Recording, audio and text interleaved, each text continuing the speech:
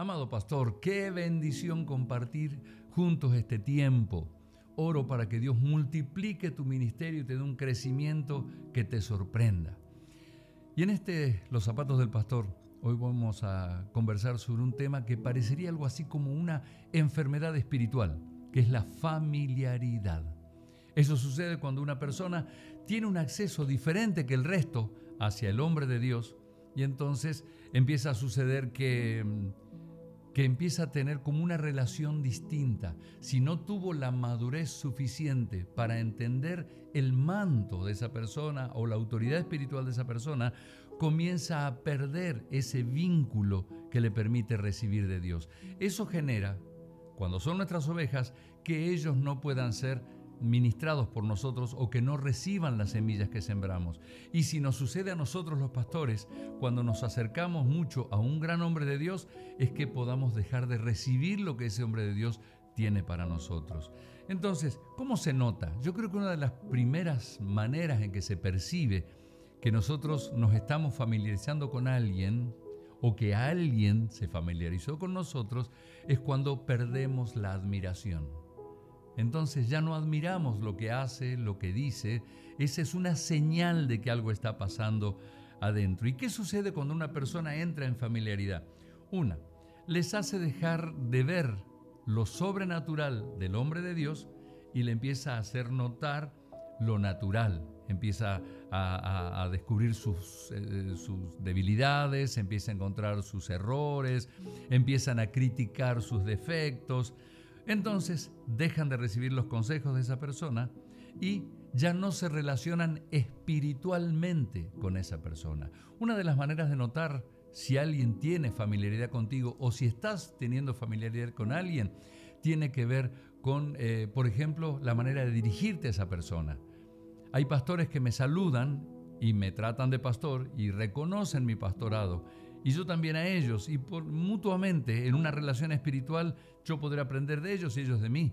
Pero hay otros que me, me saludan del eje, hey Jorge, ¿cómo estás? Gente con quien no tengo confianza, no son amigos, pero por alguna razón me llaman Jorge, porque los conocí en otro tiempo o, antes de ser pastor o lo que sea. Y no me molesta y lo saludo y le doy un abrazo, pero esa persona no se está vinculando espiritualmente conmigo y el manto que Dios me dio y lo que puedo ofrecerle como hombre de Dios, no lo van a recibir porque ellos eh, se están vinculando naturalmente. Se generó la familiaridad. Ahora, es peligrosa la, la, familiaridad porque produce esterilidad. Un caso bíblico de familiaridad muy interesante es el de Mical, la esposa del rey David. Saben que en uno de los momentos más gloriosos de Israel, cuando el arca de Dios estaba siendo traída de nuevo a Jerusalén, toda la nación estaba alborotada y feliz. Pero Mical, cuando David venía para bendecir su casa, ella le salió y lo abofeteó con sus palabras y le dijo, me dio vergüenza cómo te mostrabas con esa ropa ahí saltando y bailando como un cualquiera delante de, esas mujeres y de las siervas del Señor. ¿Qué pasó? Ella tuvo un concepto negativo. Él le, le respondió, yo me haré más vil, pero yo seguiré alabando al Señor. Pero ¿saben qué? Esa actitud se produjo por familiaridad. Esa actitud se produjo porque ella no veía lo que Dios veía. Dios veía en él a un hombre conforme al corazón de Dios. Y sin embargo, esta mujer estaba eh, menospreciándolo. Imagínense los dos opinando. Mical, ¿qué opinás? Que él fue un vulgar, cómo se puso a bailar. Y le preguntan a Dios y Dios dice, eso es un hombre conforme a mi corazón y esa danza estuvo agradando a mi corazón. ¿Qué sucede? Que la persona deja de ver lo que Dios ve cuando se familiariza por familiaridad le pasó eso a Mical y ¿sabes lo que sucedió? Quedó estéril desde ese día.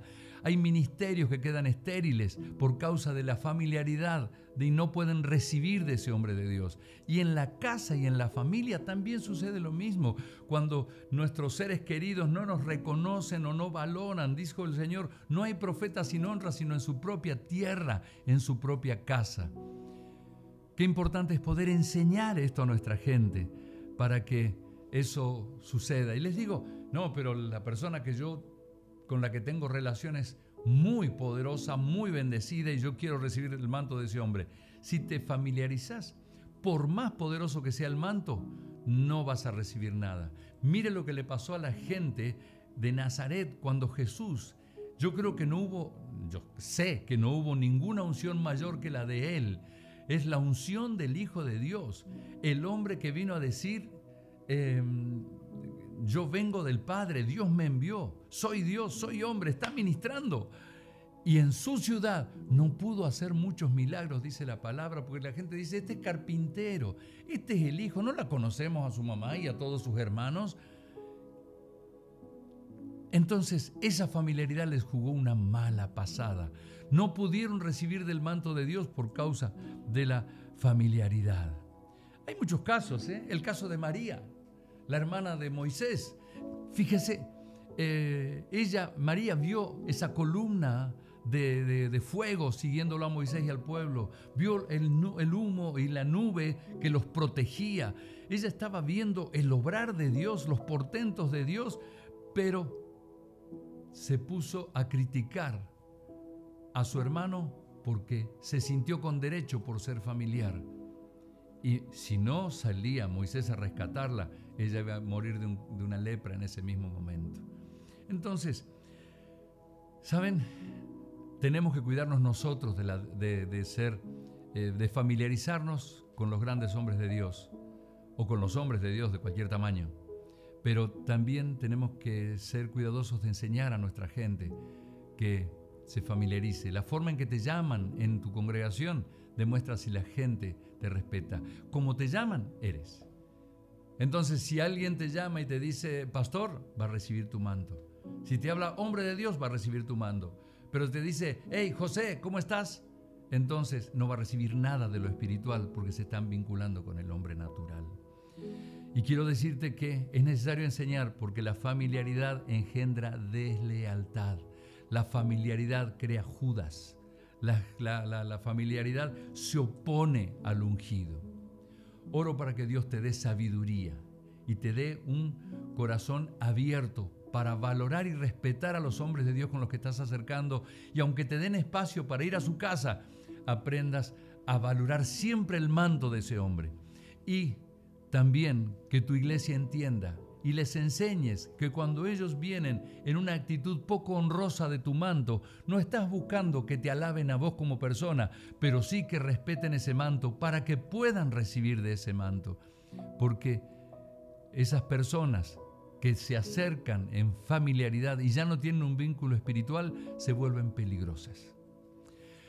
Así que oro para que Dios te dé sabiduría, te dé fortaleza y te dé manera de poder enseñarle a tu gente y también que aprendas a cuidar tu corazón para relacionarte con los hombres de Dios en un vínculo espiritual. Y por más que te den confianza y te permitan llegar a la casa, nunca, nunca, nunca te vuelvas familiar porque vas a perder la admiración y vas a volverte estéril de lo que ellos pueden entregarte. Te bendigo, bendigo tu llamado y bendigo tu ministerio en el nombre del Señor Jesucristo. Que Dios te bendiga.